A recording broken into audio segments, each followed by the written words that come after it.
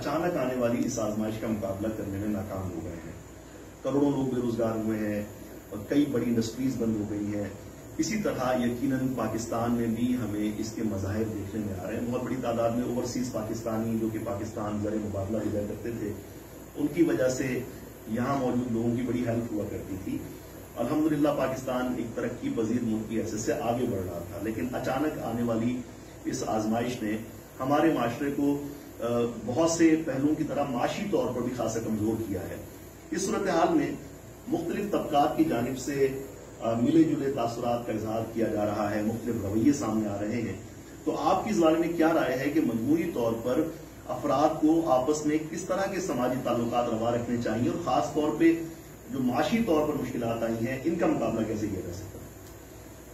देखिए हमें इस बात को बहर समझना है कि हुकूमत वक्त या हुक्मरान या हमारे जो सरबराहान हैं हमारे मुल्क के या मुख्तलिफ़ सूबों के या मुख्तलिफ़ टाउन और यूसीस की तरफ़ आप आ जाइए।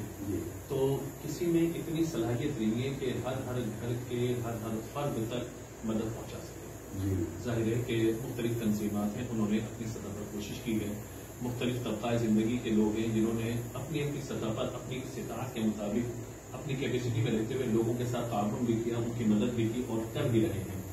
लेकिन ज़ाहिर है कि एक बड़े पैमाने पर मदद करना ज़ाहिर कि हुकूमत ने जो करना था वो किया अपनी सितात के मुताबिक और अभी भी वो कर रहे हैं कोशिशें कि लॉकडाउन की सूरत हाल में किस तरह लोगों को फैसिलिटेट किया जाए किस तरह उनको मजीद सहूलत और आसानी फराम की जाए वो अपना काम कर रहे हैं वजरा अपना काम कर रहे हैं।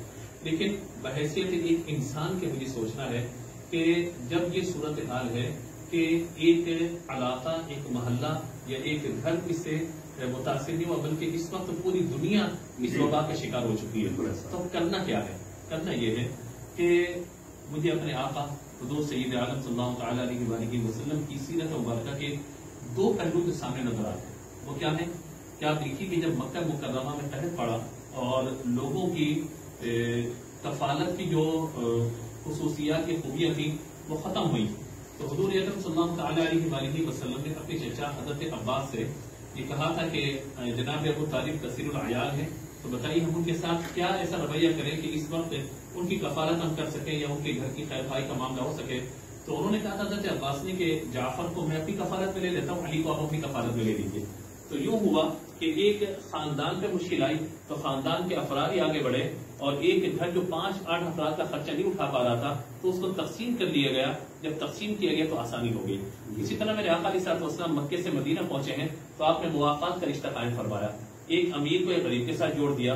तो अगर हम एक बोझ उठाने में कामयाब हो जाए किसी का भी, मिसाल के तौर पर मेरे बच्चे अगर पढ़ रहे हैं, तालीम हासिल कर रहे हैं, और मेरे भाई का बच्चा, बहन का बच्चा, मेरा भतीजा, मेरा भांजा, मेरे पड़ोस